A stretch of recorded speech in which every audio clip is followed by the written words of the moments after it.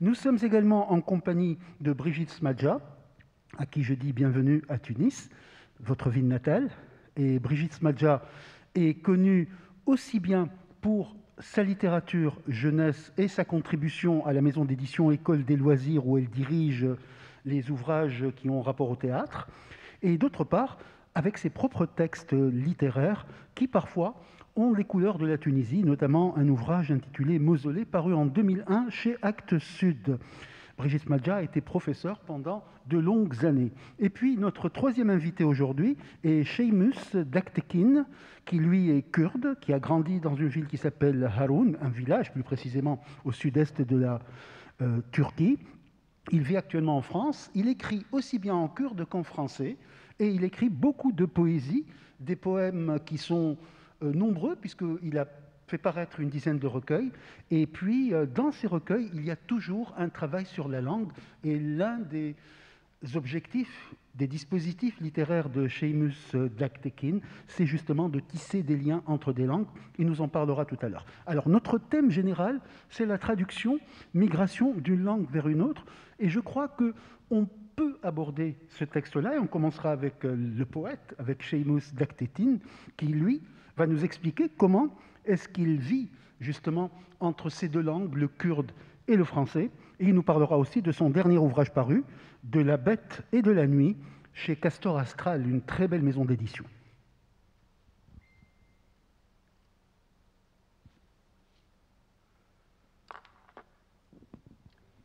Pour commencer, on peut commencer par un poème, c'est ce qui est de plus facile et de plus direct comme entrer en matière. Béatrice dit être bloquée. Une masse de béton s'abat sur ses pieds alors qu'elle se lance. Elle sait que le nord, c'est la forêt, le sud, le sable, que la forêt ne cherche qu'à devenir flamme. Le feu circule entre sable et arbre.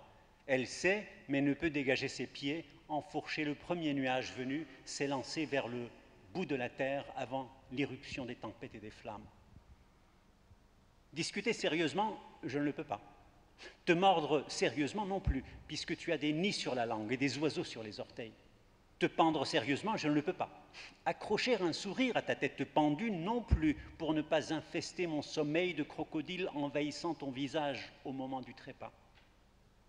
Les loups n'auront pas idée de ce que fut l'octobre rose, alors qu'un chat se déguisera en bloc de béton et tombera sur les nids. Poussière multicolore, elle s'évanouit dès qu'elle pose pied sur les nuages. Nous laisserons les corbeaux manger les vaches et mangerons les corbeaux à notre tour. Deviendront corbeaux pour dévorer les chatons, mûrs pour pousser dans leur tête, maïs pour noyer tes pieds dans le ciment, chevaux pour brouter les herbes sur ton corps. Tu deviendras chat, châtaigne, et pousseras à l'entrée de la ville. Qui a voulu devenir serrure et m'enfermer dans mon rêve? Nous déposerons le dernier monde dans une poubelle et le brûlerons avant de sortir. C'est marcher qui est de trop. C'est entendre marcher dans notre parole qui est de trop. Décembre ne viendra pas, l'hiver ne tiendra pas. Ta main se collera à notre rate pour en vider les surplus. Notre peau sur ta bouche ne tiendra pas. Nos sabots seront pierres sur les carcasses. Le temps de courir et de revenir au pied des arbres, le toit du ciel sous notre poids ne tiendra pas. Pourquoi guetter les tombes alors que personne ne ressemble à ces mots?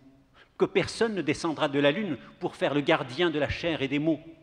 Et que la montagne finira chère, ô mémoire Terre vaine, même si elle devient tombeau pour bouches et pierres que les rêves digéreront sans ventre. Pourquoi voler de vos propres ailes? Pourquoi voler avec les ailes empruntées? Pourquoi voler des ailes et s'éloigner avec les bruits du monde, avec les ailes que vous risquez de, que vous risquez de rendre en cours de vol? Moi, je dis rien. Je dis que les découvreurs n'ont rien foutu avec les dunes et l'or des rennes. Je dis dès que possible, mettez la tête dans les polyphonies et ça gicle roi de partout, chrysalide, écluse, raclure, cavalcade. Non, je ne me supprime pas. Tu peux attendre ma grosse, grosse araignée. Rien de tout, rien de tout ça n'est vrai. Mais tu cavales dans la peur. Comment te retrouves-tu parmi ces fils? Où cours-tu? Où vas-tu, ma paisible, méchante, douceâtre, folle, sur pattes Même si je t'en coupais une, il t'en resterait pour que tu continues à chevaucher avant de disparaître une mélodie sortie, on ne sait de, on ne sait de quel bas-fond. Mais tout ça est vrai. Si je me coupais la main, tu ne verrais pas mon sang. Ma main dans ton sang ne sera jamais vraie, en attendant que nous prenions un petit escalier pour arriver dans la grotte où tu pourras nous dissoudre, où tu pourras nous recomposer Que les moutons viennent après les têtards Changera-t-il ma fuite dans, entre les pattes de mon adorable, effroyable, irritable, intraitable araignée? Je souffle sur l'eau, sur le mot. Je n'atteins rien, je n'éteins rien, je ne suis rien de ce que je sais. Le mot reste aussi vide que ma bouche dans l'eau. Remplissez les lacs, remplissez les creux en attendant qu'ils deviennent lacs, rompez les fils, planter les vaches dans les carrières, les arbres sur les vaches, à l'ouest beaucoup de sel, mêlé d'herbes, beaucoup de couleurs, mêlé d'eau, une jambe sur une pelle dans la boue, là-bas, une colline déverse de ses flancs grappes et graines dans la carrière que nous creusons à ses pieds pour retarder sa chute prochaine. Donc voilà un peu un aperçu de ce que c'est que essayer de naviguer entre les univers et les langues et les mots. Donc, je sais pas. Très bien. Et on, on aimerait même l'entendre en kurde, ce poème, ou bien vous entendre en langue kurde également? Alors, c'est que moi, je, ce que j'écris, euh, je ne traduis pas mes textes euh, euh, donc d'une langue à l'autre euh, ils restent, mes textes restent dans les langues de leur euh, écriture, qui fait que ce texte-là a été écrit en français. Tout ce que j'ai publié, hein, sauf euh, Élégie pour ma mère, qui est un recueil et un travail entre les deux langues, le kurde et le français. Mais sinon, le reste de mes livres sont écrits directement en français. Très bien. On vous écoute, Brigitte Madja je, voulais, juste poser une question à, à parce que c'est quand même très euh, particulier euh, ce qu'il vient de nous dire. Et moi, ça me, ça me surprend, ça me touche aussi, parce que ça voudrait dire donc que on, on a appris à se tutoyer. C'est ça qui a de merveilleux avec Étonnant Voyageur. Merci à Michel Lebris, merci à Mélanie Lebris de nous avoir aussi réunis.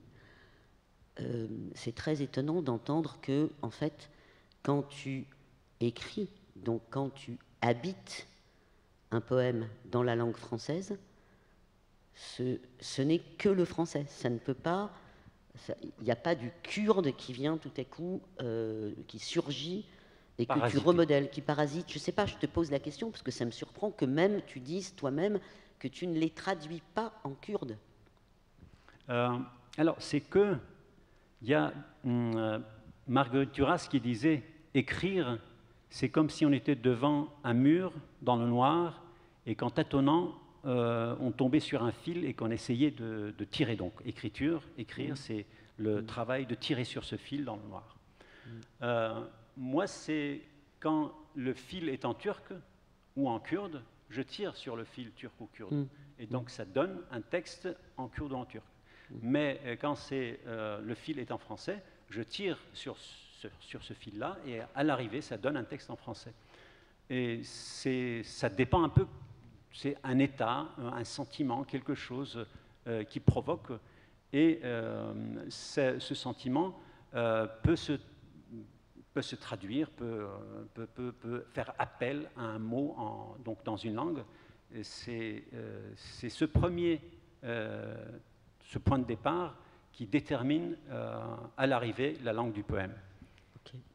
Très bien. Et vous, Brigitte Madja, est-ce que parfois, lorsque vous écrivez, il y a des mots qui remontent, des mots en arabe? Alors, euh, moi, je, je c'est une question qui a surgi euh, grâce à mon arrivée ici en Tunisie, en fait. Après, euh, j'ai vécu toute mon enfance en Tunisie, jusqu'à l'âge de 8 ans. Mes parents étaient tunisiens, mes grands-parents, mes arrière-grands-parents, tous mes aïeux, pendant cinq siècles. Et puis, on a été quitté, tous les juifs sont partis en 63, enfin on était parmi les derniers. Et donc euh, la langue que parlait ma mère, c'était le français. La langue que parlait mon père, c'était le français. Mais en revanche, ma grand-mère, par exemple, avec qui j'étais très lié, ne parlait que l'arabe. Donc c'est évident que l'arabe était une langue que je comprenais. C'est une langue, lorsque je l'entends, là je suis parti me errer un tout petit peu, ça sonne d'une manière euh, extraordinairement familière.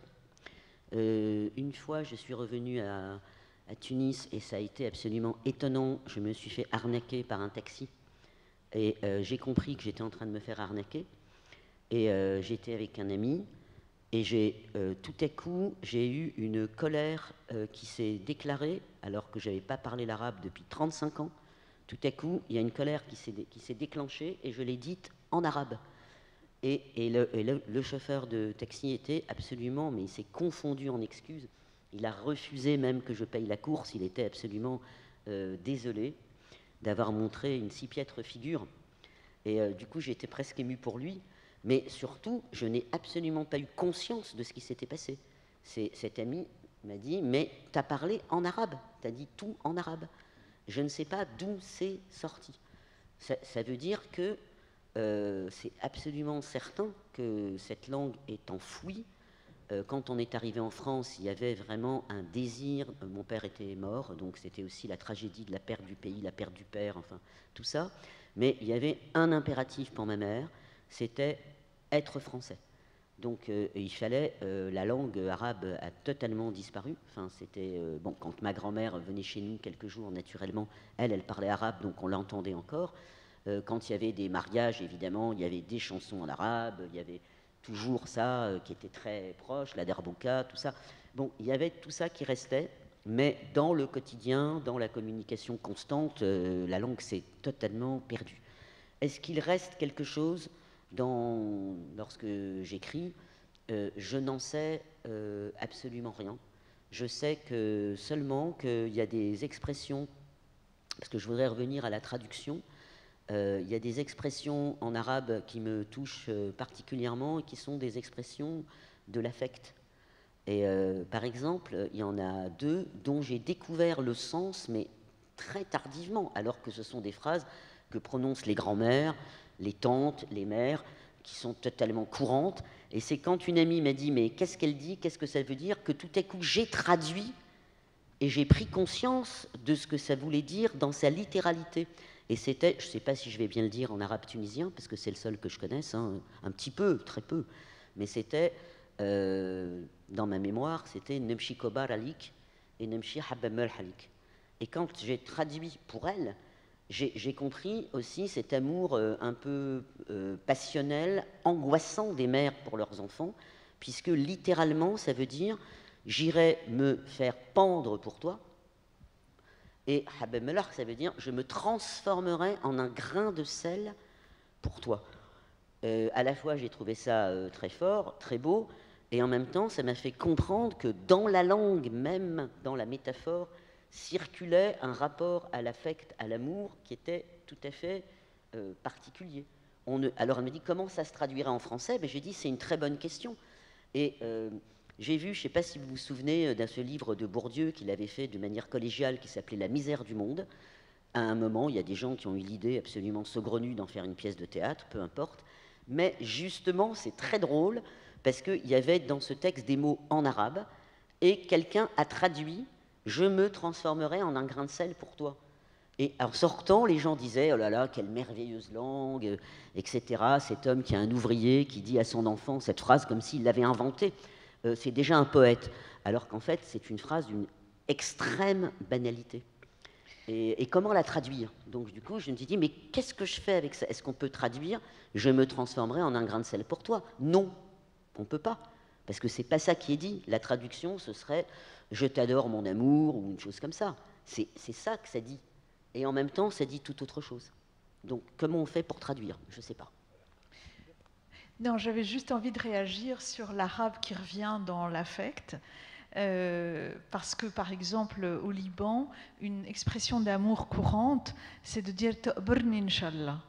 Et Ta'burni inshallah, littéralement, ça veut dire que tu m'enterres si Dieu le veut. Ça veut dire que euh, un parent, que ce soit un, père ou une mère, mais c'est vrai que c'est plus souvent les mères qui disent ça, c'est Évidemment, le, drame absolu pour une maman, c'est d'assister au décès de son enfant. Donc, l'expression, une expression d'amour courante, c'est de dire pourvu que ce soit toi qui m'enterre et que jamais je, je, ne vive cette chose terrible qui est de te voir mourir. Et donc, c'est un peu la même chose, en fait. Oui, tout à fait. et je pensais à ça en venant, je me disais, il y a eu des, par moments, dans, par exemple dans le roman que je suis en train d'écrire, j'ai eu envie, euh, bon, qui est en français, mais j'ai eu envie d'écrire que tu m'enterres, que le père dise à, sa fille que, tu m'enterres, Inch'Allah. Voilà.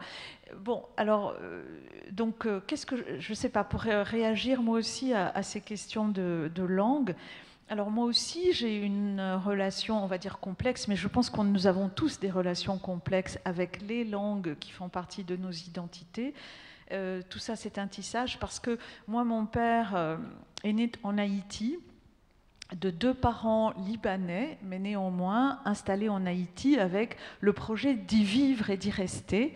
Et donc mes grands-parents, que malheureusement mais je n'ai pas c'était à Port-au-Prince? C'était à Port-au-Prince.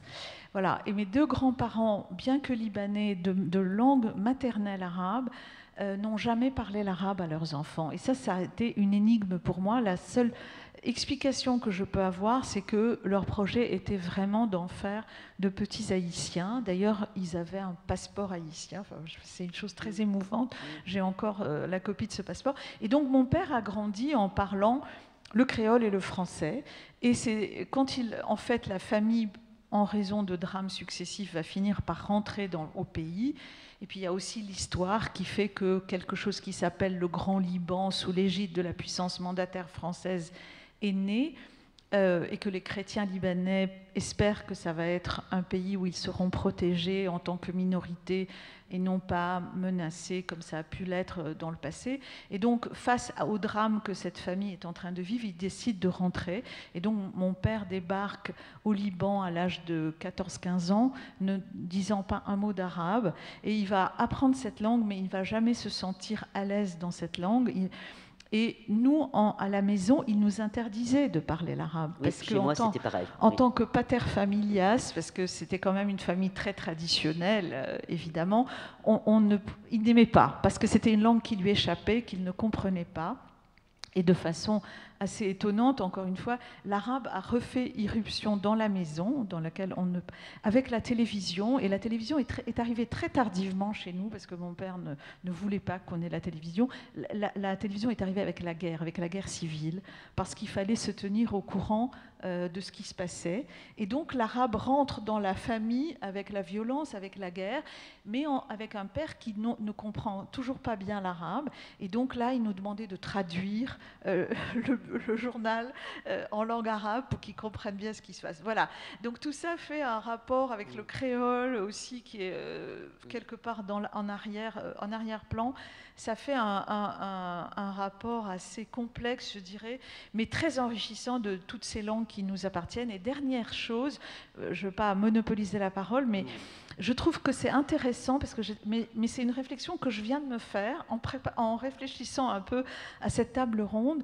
Je me dis, c'est étrange parce que moi, j'ai une espèce de nostalgie de l'arabe, c'est une nostalgie dans le sens que euh, je, je ne sais pas, j'ai eu besoin dans ma vie d'écriture de renouer avec l'arabe qui n'était pas la langue dans laquelle j'écrivais, et j'ai renoué à travers euh, des récits jeunesse et ce, travail de traduction.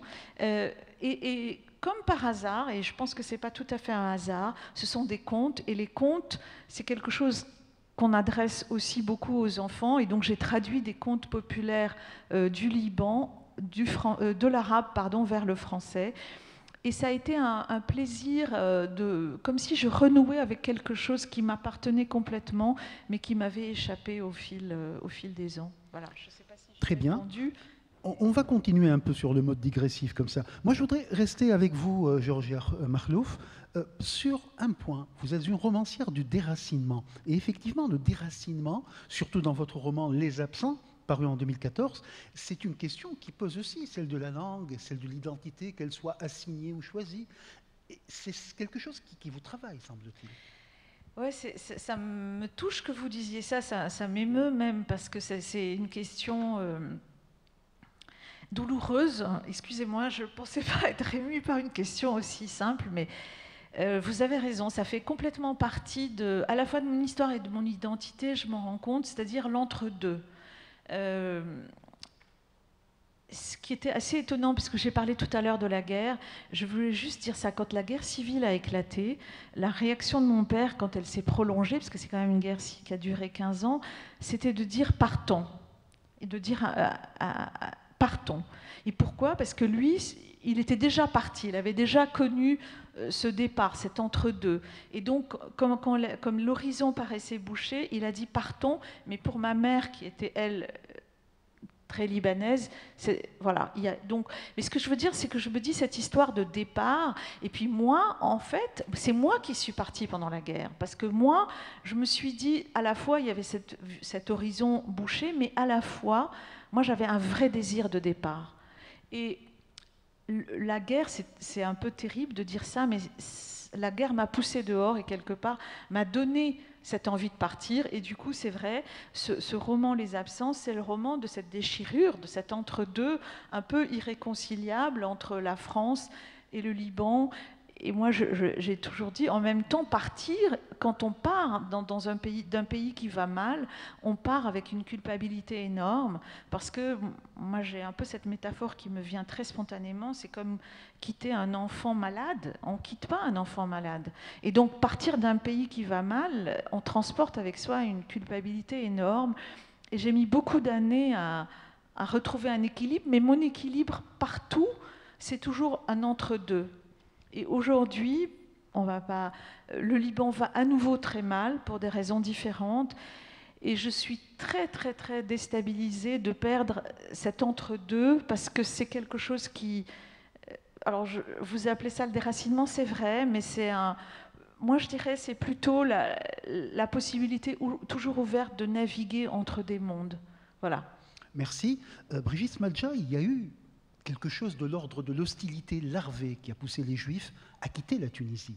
Et vous êtes parti, vous étiez enfant, mais en même temps, on ne n'oublie pas tout cela. Ben, j'ai vécu le départ de la Tunisie comme, euh, comme quelque chose d'extrêmement brutal, puisqu'il a, ce départ a été aussi, euh, il y a eu un corollaire qui était quand même fondamental pour moi, c'était la mort de mon père. Euh, mon père est mort au mois d'août, euh, je ne sais pas, je pense que lui, il avait l'idée d'un départ, mais c'était plus loin, c'était plus lointain. Il n'était pas sûr de vouloir quitter la Tunisie tout de suite.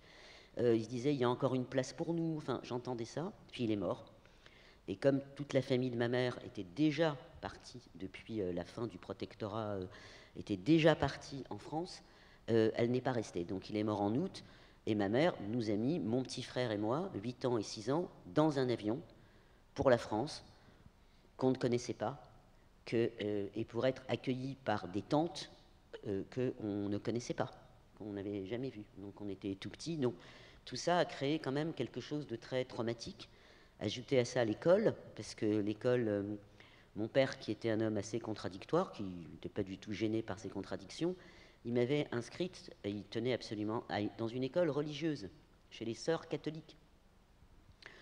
Donc euh, j'avais l'impression, quand mon père est mort de façon brutale, j'étais allé voir la mère supérieure de cette école et je lui avais dit, mais euh, je ne comprends pas, est-ce que vous ne pouvez pas prier? Mon père, c'était un saint, c'était un homme d'une bonté absolue. Euh, est-ce que le Dieu, enfin moi je prie tout le temps, mais est-ce qu'il ne peut pas faire un miracle?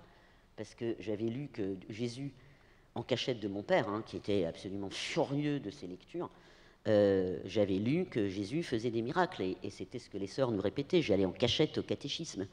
Euh, et là, vraiment, je savais que je franchissais des interdits majeurs. Et puis, eh ben non, elle s'est mise à pleurer, et, elle me dit, ben, toutes mes prières, hélas, ne le feront pas revenir. Donc il y a eu aussi, euh, pour moi, la mort du Père, la mort d'un pays, la mort de Dieu, enfin, c'était vraiment très, très, très violent. Et puis, il y a cette dernière image qui m'a... qui m'a qui m'a bouleversé longtemps, c'était, euh, j'étais dans le bus, c'était la dernière fois que je voyais mes cousins, et leur euh, maison avait été criblée de cailloux et d'un signe nazi qui était sur le... Enfin, c'était un truc vraiment d'une hostilité antisémite très très forte. Et c'est une dernière image, eux me faisant signe derrière leur maison euh, avec les vitres brisées. Oui. Donc il y a eu, euh, euh, c'est très juste ce que vous dites, mais c'est aussi que ça a développé chez moi très certainement euh, un écart, c'est-à-dire je je pouvais plus d'une certaine, disons que l'injonction de ma mère, la Tunisie c'est fini, c'était une injonction que j'ai prise à mon propre compte. c'était pas une injonction contre laquelle j'ai lutté. C'était même tout le contraire. Il y, y, a des choses de la Tunisie dont je ne voulais plus entendre parler. Et Là, en me promenant euh, juste une petite heure, j'ai eu un... Et ça, ça m'est arrivé plusieurs fois, c'est extraordinaire, la mémoire, c'est une chose tellement magique. Euh, je n'ai aucun sens de l'orientation, aucun. C'est-à-dire dans Paris, je suis perdu dans un quartier dans lequel je vis pourtant depuis 40 ans. Il m'arrive encore de me perdre, de me tromper de direction. Et quand je suis à Tunis, pas ici, où c'est vraiment une sorte de no man's land, enfin c'est pas la Tunisie pour moi ici, mais euh, très vite, euh, on, franchit, on est dans la ville, et je retrouve ce sentiment inouï, je ne suis pas perdu. Je, je n'ai aucune crainte de me perdre, comme si quelque chose de la géographie intime de la ville s'était imprimé en moi. Et je n'ai pas peur de me perdre, je suis là. Et tout à coup, je disais, j'étais avec Nathalie Papin, je lui dis, attends, on va marcher, on va marcher. je savais, je savais qu'à un moment, j'allais reconnaître quelque chose. Et je me suis retrouvée dans la rue de ma grand-mère paternelle. Donc, c'est extraordinaire ce qu'on porte en soi et, qu'on.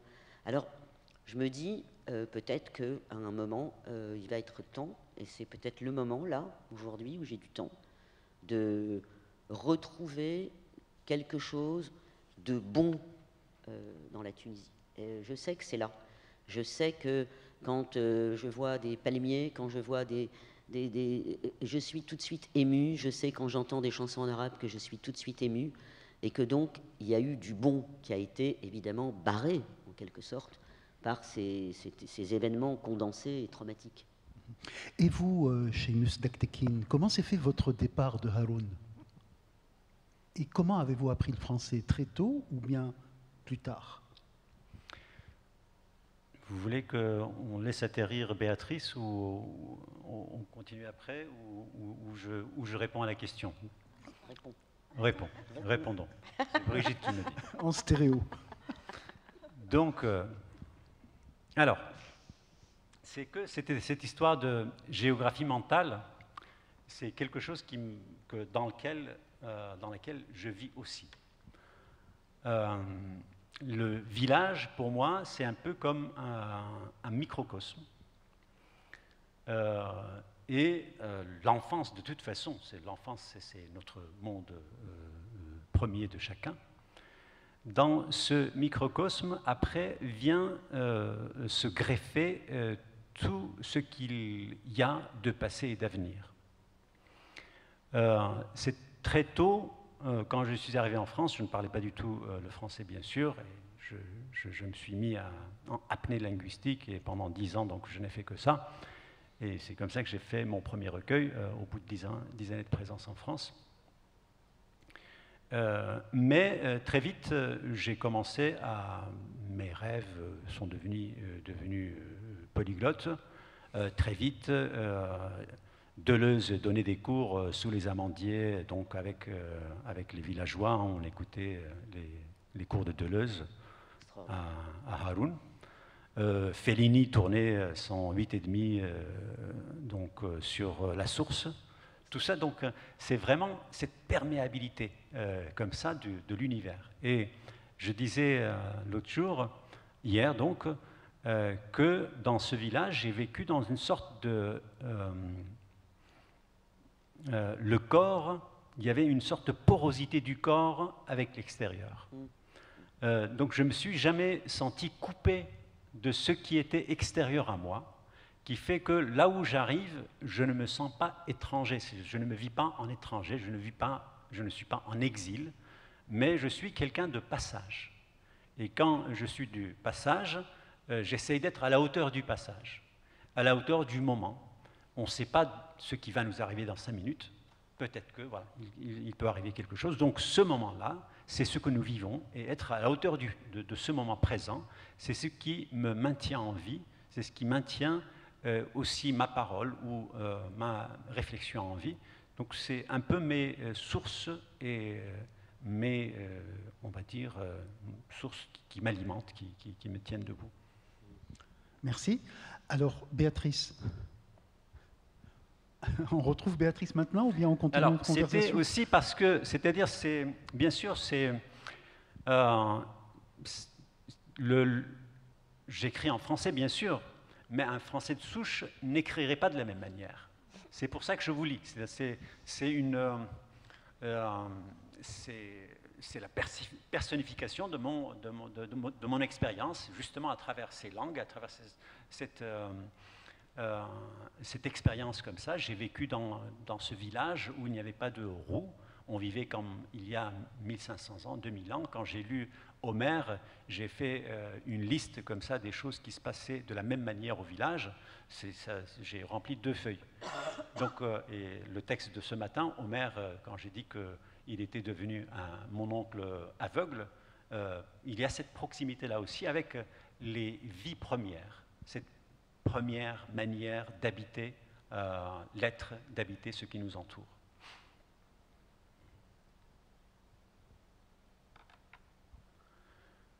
M'accuser si je le pouvais, en inhalant fragrance et douceur dans ma chute. J'accuserais si je pouvais m'accuser. Si je savais qu'accuser déboucherait sur le vol d'un oiseau au-dessus d'un lac, si je pouvais éviter la fin de l'oiseau se précipitant au fond du lac, le cadavre des vaches qui se décomposent sur, sur les bords, les soifs qui se précipitent par milliers pour assécher le lac. Le désastre n'épargnera pas les spectres qui persisteront à respirer odeurs et sourires, la chevelure qui les encadre, les doigts qui les soulignent, le visage qui les offre, les mains qui les propagent, au détour de chaque mot, au seuil de chaque visage, où je suis dépouillé, au beau milieu d'une roselière, ouvert à tout, fermé à rien, comme Élodie qui fut chant de toute une vie, avec cheval au milieu d'un champ, vol d'oiseaux au-dessus d'un bois, et moi au bord d'une fenêtre qui me coupe du cheval et des oiseaux. Je me demande qui n'est pas à sa place qui est de trop dans cette place Le cheval qui effraie les oiseaux, les oiseaux qui recouvrent le bois, la fenêtre qui me coupe du champ et du bois Ou moi qui pose la fenêtre pour ajouter un trou de plus dans tout ce fatras Tout est sottise à sa manière, dit le contrôleur. Chacun accomplit son trajet dans la peau d'un autre, dit le voyageur. Papa, pourquoi m'as-tu jeté sur la voie? crie la petite fille. Je vous mangerai tous et me brosserai les dents, dit le goule, qui terrorise les travets, sur les bords d'une autre montagne couverte de neige et menant à la mer par un sentier entouré de têtes et de branches épineuses. Plénitude du premier son qu'une diva compte sur les doigts du matin et coupe le soir pour que la traversée des boyaux vous soit douce.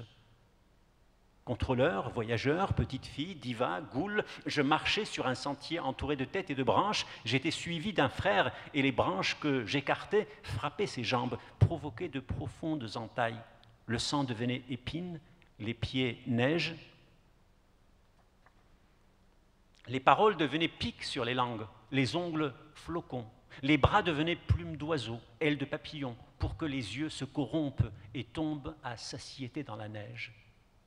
De quelle plume sortira alors? De quelle veine coulera? Le mot qui nous condamne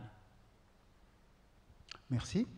Merci à vous. Euh, je vais revenir vers vous, Brigitte Smadja, et euh, en écoutant justement ces poèmes, ça m'a renvoyé à votre ouvrage qui s'intitule Il faut sauver Saïd.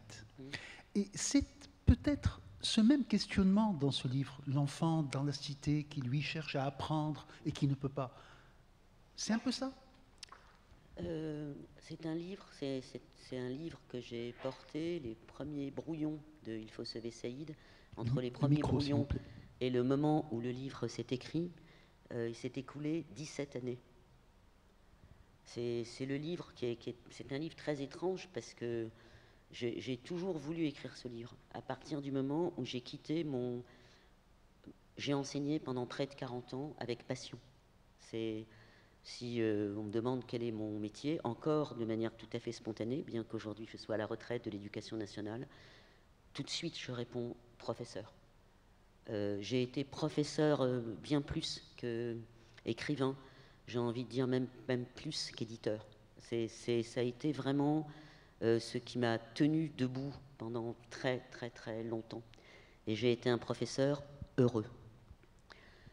Et quand j'ai quitté le collège de Montigny-les-Cormeilles, euh, où j'ai exercé euh, pendant sept ans, j'avais envie de parler de...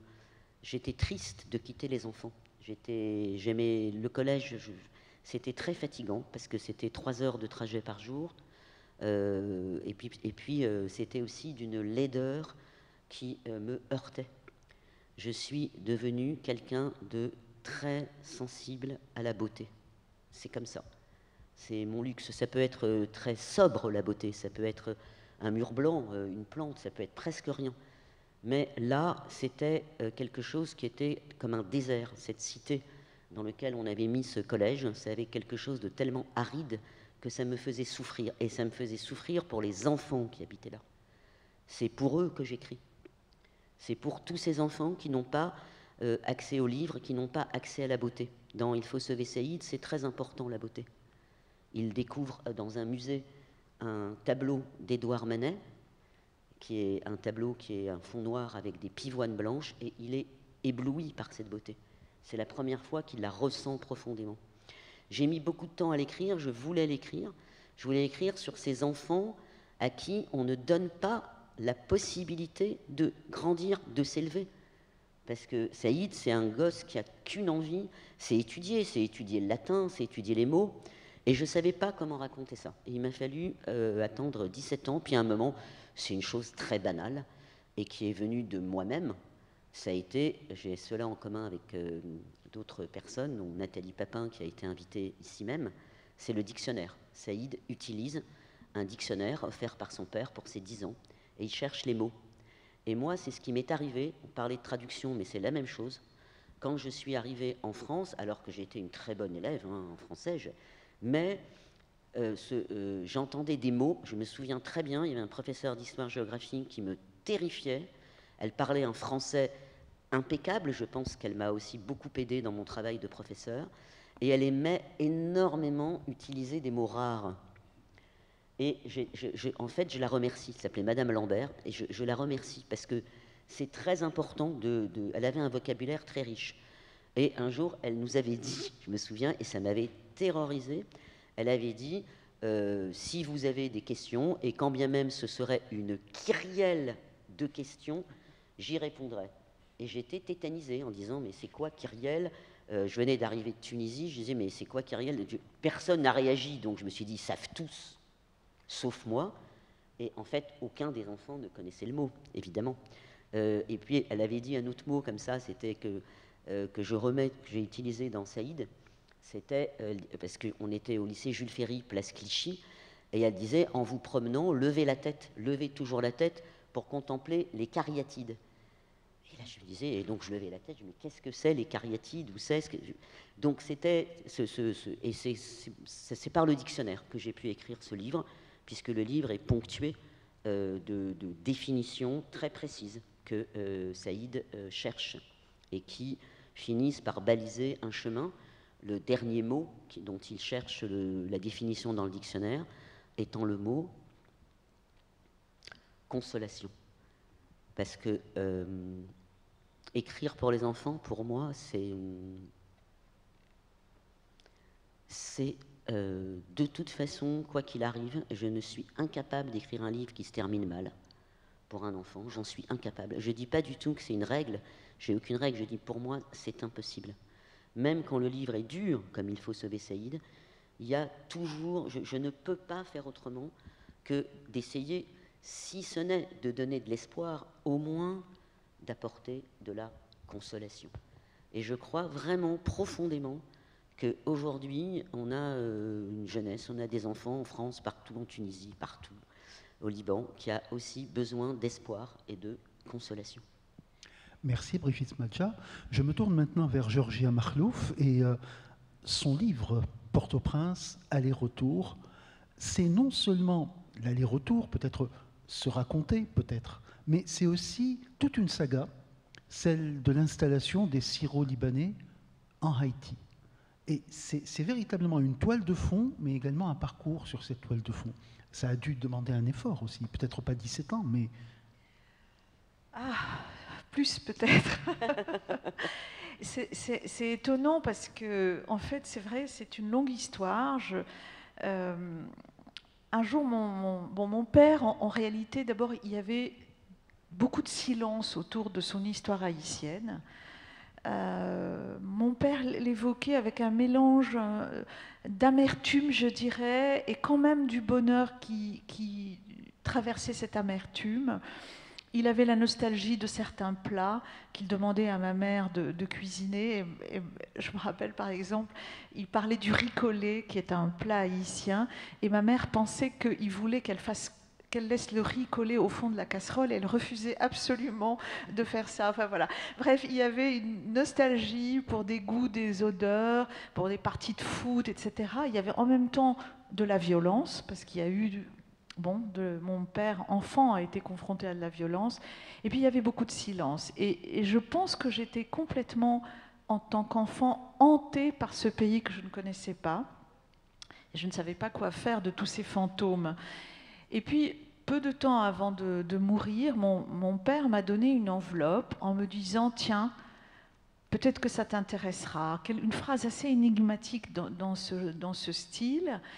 Et dans cette enveloppe, il y avait des choses extrêmement hétéroclites. Il y avait quelques photos d'Haïti.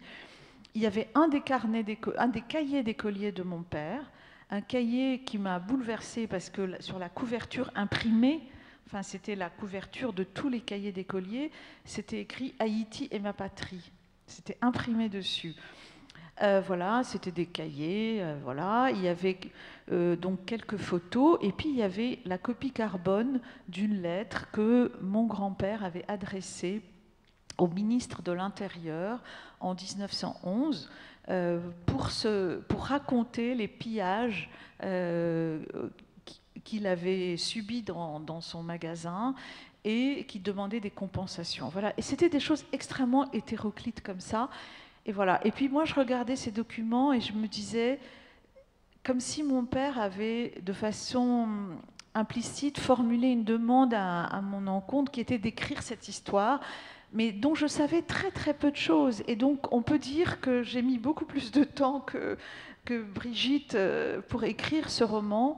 Euh, il y a eu des bribes qui sont venues comme ça, il y a eu pas mal de pages qui ont été écrites, mais évidemment, il me manquait d'aller en Haïti, et Haïti est un pays malheureusement euh, qui a connu énormément de drames pendant toutes ces années, et, le projet d'y aller était sans cesse remis à plus tard, parce que euh, coup d'État, parce que typhon, parce que tremblement de terre ou autre, enfin voilà, il y avait...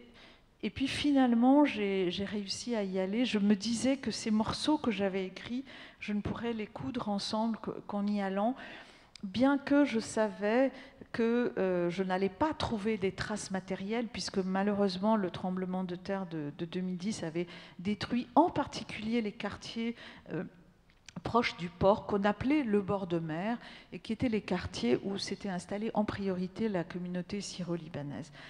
Donc voilà, j'ai retrouvé très peu de choses. J'ai retrouvé l'angle de la rue parce que j'avais. Ah oui, j'avais aussi un papier en tête d'un magasin de. Oui, oui, un papier en tête, c'est tout, du magasin de mon grand-père qui était si à l'angle de la rue des Césars et de la rue du magasin de l'État. Et ces deux noms m'ont habité pendant très longtemps. Donc j'ai retrouvé ce carrefour et je me suis dit, il y a quatre angles à un carrefour. Lequel, à quel angle était le magasin de, mon grand-père? Voilà.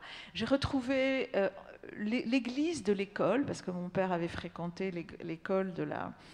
Euh, l'école Saint-Louis de Gonzague, Et surtout, j'ai fait une rencontre absolument bouleversante d'un historien euh, dont le père était d'origine euh, syro-libanaise et, qui écrivait des romans historiques et qui m'a demandé le, premier jour où je l'ai rencontré, mais comment s'appelait votre grand-père? Alors je dis, mais comme moi, Mahlouf, parce que j'ai gardé mon nom. Il me dit, non, non, son prénom. Et j'ai dit Vincent, qui était en fait la traduction de Mansour, parce que Mansour et Vincent, ça a le même sens. Bref, il m'a dit c'est lui. Je dis quoi, c'est lui? Il me dit c'est un des personnages de mon roman. C'est-à-dire, j'ai rencontré un historien qui avait fait de mon grand-père euh, un des personnages de son roman, et ça a été quelque chose d'absolument bouleversant. Donc, je lui ai demandé pourquoi, et il m'a dit, mais parce que c'était un membre éminent de la communauté euh, syro-libanaise. Je ne savais pas qu'il était un membre éminent. Et il m'a raconté euh, qu'en 1912, il y a eu l'explosion du palais présidentiel de, de Port-au-Prince on n'a jamais su qu'est-ce qui s'était passé exactement. Il y a eu toutes sortes de théories qui ont circulé à propos de cette explosion. L'une d'entre elles, c'était que c'était un complot des Syro-Libanais parce qu'il avait fait voter ce qu'on avait appelé les lois anti-syriennes. Et donc on avait pensé que c'était la communauté qui avait euh, donc euh, fait ce complot et que mon grand-père aurait été un des meneurs de cette communauté. Pour voilà. Alors retrouver la grande histoire qui croisait la toute petite histoire de, la famille, ça a été quelque chose d'absolument bouleversant. Et voilà. Donc le roman s'est transformé complètement après ce voyage, après cette rencontre. Et effectivement, j'ai mis encore plus de temps que Brigitte à l'écrire. Non, c'est extraordinaire. Mais en fait, hein, vos chemins se croisent euh, et vos parents se croisent également, vous deux au moins. Et euh, le chemin de Seamus, c'est exactement quelque chose euh, qui, vous rassemble tous. Écoutez, il nous reste une dizaine de minutes. Je voudrais, pour terminer cette séance, et peut-être pour terminer tout le congrès, je voudrais que Brigitte Smadja dise tout à l'heure quelques mots en hommage à Michel Lebris, parce que son ombre généreuse est avec nous vraiment ces jours-ci. Mais avant cela, peut-être pourrions-nous terminer ce tour de table en posant une question à vous, Seamus, c'est est-ce que vous pensez écrire un roman un jour ou vous resterez dans la poésie? Alors, je me suis déjà essayé au roman. Ah, très bien. C'est À la source la nuit qui est sorti euh, chez Robert Laffont en 2004. Donc, euh, voilà où j'ai essayé de, de. Je dis, c'est le livre d'un monde d'avant le livre. Et parce que cette manière d'être avec l'autre a disparu et que le lecteur moderne n'a plus cet accès, donc j'ai essayé de leur donner, euh, d'élargir euh, l'imaginaire français, n'est-ce pas, jusqu'aux confins de Hallon. Tout à fait. Mais ces imaginaires dont nous parlons, en fait, ils sont très ancrés dans l'autobiographie, dans l'intime parfois. Non, mais de toute façon, je dis, chacun, nous écrivons à partir de nos nombrils. Hein. On ne peut pas sortir et écrire à partir du nombril des autres. Mais l'essentiel, c'est d'essayer, donc euh, je dis, de, de, connecter son nombril au nombril du monde pour essayer de créer une communication, une, une, une circulation entre le, notre petit moi et l'être euh, qui, est extérieur, les êtres qui nous sont extérieurs, pour que ça crée du sens, pour que ça nous sorte de nous. Euh, parce que quand on est euh, juste avec ses racines et avec ses euh, euh, histoires, ses contrées, on risque de, se rétrécir quelque part. On dit que le, le ver à soi, il fait un travail très important, mais à force, il tisse sa tombe. Donc à un moment, il faut pouvoir sortir de ses racines, de ses limites, de ses langues même, c'est pour ça que quand j'écris, j'essaye d'arriver à la mémoire minérale que j'ai en moi. C'est-à-dire, pour moi, ce, qui euh, euh, prime, c'est le souffle qui nous, habite d'abord. Avant les mots, il y a le souffle. Avant d'arriver à la euh, syllabe, il y a le cri. Donc le souffle, le cri, le mot. Et quand on écrit, il faut tenter en tout cas j'essaie de tenter, de relier ces trois niveaux-là pour là aussi euh, essayer de parler un peu plus loin que moi et un peu euh, à la fois vers le passé, à la voix, euh, pour essayer d'ouvrir une porte vers l'avenir. Donc c'est cette histoire de, de franchir nos limites, à la fois physiques et à la fois culturelles, pour nous élargir avec tout ce qui peut nous entourer. Qu'en dites-vous, mesdames, en commençant Moi, par vous j'avais juste envie, ça- je ne sais pas pourquoi ça me fait penser à ça, mais j'avais juste envie de dire, pour revenir à, ce travail de traduction que, que j'ai fait, que dans les contes euh, populaires, euh, il y, a- il y a une formule introductive, parce que vous savez qu'il y a beaucoup de formules, et en, en arabe, je ne sais pas si c'est la même chose en Tunisie, mais dans le monde arabe, euh, peut-être au Moyen-Orient en tout cas, on dit souvent, on commence souvent par Kan ya makan fi qadim zaman. Et qu'est-ce que ça veut dire Kan ya makan Qui est une très très belle formule? Je me- et vraiment, je me suis posé la question et, et je l'ai traduite par Il était une fois ou peut-être pas. Qui était une, une C'est hypothèse. beau. Oui, moi j'ai trouvé que Ah, c'est magnifique. parce que Ken et Maken, c'est il y, a, il y a- il y a eu une fois et, et le- et le contraire. Donc je me suis dit, c'est beau que dans le- l'ouverture du conte, c'est aussi une ouverture de l'imaginaire, c'est le rapport entre la vérité et le mensonge. Et je vais- c'est très très court ce que je vais vous lire, vraiment très très court, mais ça va Il vous nous faire reste rire. 7 minutes en tout. hein. Ah bon, bah, ça va. Alors j'ai le temps parce que ça va prendre même pas une minute, mais je, vais, vous lire juste l'introduction de, ce premier conte parce qu'il y a toujours, voilà, alors parce qu'il y a cette idée d'ouverture sur l'imaginaire, du rapport entre la vérité et le mensonge. Euh, D'ailleurs, la, personne qui a re- recueilli ces contes, qui a fait un travail extraordinaire, utilisait la formule il y a une farsha pour chaque conte. Et farsha, ça veut dire le batla, tout simplement. C'est-à-dire que euh, y a dans le rapport au conte, il y a aussi le rapport au sommeil. On, lit un- une histoire avant d'aller dormir, etc. Donc voilà. Pour commencer, il faut faire le lit de cette histoire, car comme on fait son lit, on se couche. J'ai vu de mes yeux vus des alouettes munies d'un joug qui labourait, un cochon qu'une fourmi sur son dos portait, un chameau qu'au fond d'un puits une fourmi écorchait, un âne qui en ville s'instruisait. De ma vie, je n'ai jamais menti, jamais. Une puce, je l'ai bridée. Cette mer, elle a traversé sans se noyer. Donc le conteur raconte des choses absolument incroyables et dit par la suite, je n'ai jamais menti. Donc voilà, le rapport euh, entre la, la vérité, le mensonge, l'imaginaire, tout ça, ce sont des voyages à travers la langue. Voilà, j'avais envie, je ne sais pas pourquoi, de Mm. partager ça avec vous. Et des voyages à travers la langue qui passent aussi euh, par la traduction, par les griots, par les hakawati, par ce que nous appelons ici les fdawi. Et peut-être un commentaire de Brigitte Smadja. Ben, je- Brièvement. Je, je voudrais re- rebondir sur ce qu'a dit euh, et puis aussi euh, Georgia. C'est que euh, je crois aussi que tu l'avais évoqué hier, ou peut-être c'est moi, je ne sais plus, parce qu'on a, on s'est croisés beaucoup. Euh, je crois que cette, euh, on, a, on a parlé de toutes ces langues qui, dans l'intime, euh, nous construisent, nous traversent, et parfois même de manière euh, pas du tout euh, contrôlable ni contrôlée.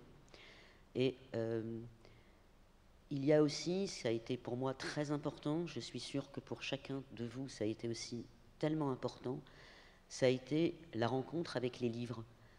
Parce que bien sûr qu'il y a cette attention à rencontrer l'humanité dans ce qu'elle a de plus euh, tangible, de plus euh, concrète. Euh, mais il y a aussi, enfin pour moi, ça a été, et c'est vrai que là je suis, j'ai toujours été très reconnaissante à, à la France. Je dis souvent, c'est la France qui m'a donné des livres. Mais j'ai dit un jour aussi, et du coup ça a été écrit, la France m'a donné des livres et elle m'a délivré. Et euh, elle m'a délivré de quelque chose qui n'était pas du tout seulement le poids de l'histoire euh, intime, mais au-delà de ça, elle m'a fait sortir de la famille, elle m'a fait sortir de la tribu, elle m'a fait sortir de la religion. Tout à coup, grâce à tous les livres que j'ai pu lire, et très tardivement, parce que dans mon enfance, j'en ai pas lu, il n'y en avait pas chez moi, euh, elle, a, permis un élargissement extraordinaire. Alors, j'ai appris aujourd'hui, non, c'était hier, pardon pour ces confusions temporelles, que Michel Lebris, à qui nous devions tous d'être là, est un homme qui avait 50 000 livres. Euh, je trouve évidemment, et je suis sûr que tout le monde trouve, c'est quelque chose d'extraordinaire de penser qu'il vivait entouré de 50 000 âmes, de euh, 50 000 oiseaux, de 50 000 euh, euh, voix euh, qui l'ont euh, nécessairement nourri et qu'il a eu la générosité de donner, de transmettre à tous ceux qui voulaient les écouter. Merci beaucoup, euh, Brigitte Smadja, pour ces mots à la mémoire de Michel Lebris, à qui nous devons euh, ce congrès qui nous a réunis, avec bien entendu un comité qui a pris le relais après sa disparition en janvier dernier. Merci à vous trois. Merci à euh, c'est Sheamus Dektekin qui euh, nous a lu de belles poésies, mais qui nous a permis aussi de réfléchir sur son parcours propre. Nous n'avons peut-être pas beaucoup parlé de traduction au sens strict du terme, mais le terme de migration, il était bien là, hein, la migration Oui, des âmes, sûr. des livres, des idées, des voix. Et euh, merci à vous, Georgia Marlouf, et puis euh, un grand merci aussi à Brigitte Smadja. Je, je voudrais remercier aussi la fille de Michel, parce que la première à avoir reçu cette transmission, c'est Mélanie Lebris, et c'est elle qui a organisé euh, aussi, c'est en- Absolument. voilà, qui, a, qui a- poursuit le Non, travail. non, je voulais juste vous remercier aussi pour Merci votre beaucoup. animation très délicate et très, très euh, agréable. Merci beaucoup. Merci, merci, Merci. à vous. Merci à tous. Donc, euh, nous terminons une minute en avance, et euh, c'est très bien comme ça. Merci. Merci.